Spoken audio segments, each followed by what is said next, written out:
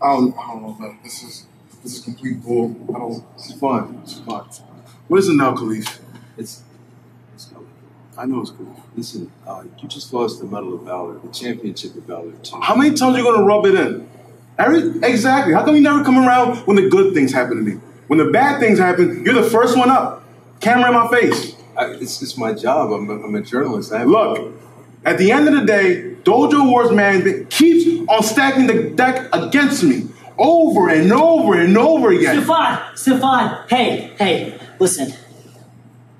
I know what just happened. I just heard it was in the middle of a workout, and I want you to know.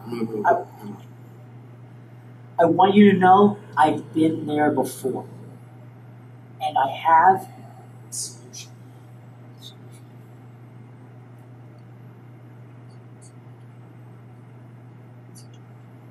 Jesus Christ.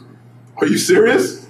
Yeah. Bro, are you kid? Are you thank thank you so much.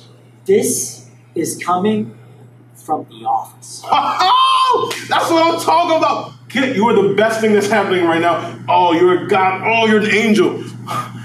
Keith, tune in. It's Khaleef. It's, I know what it is. It's Keith. It's Keith.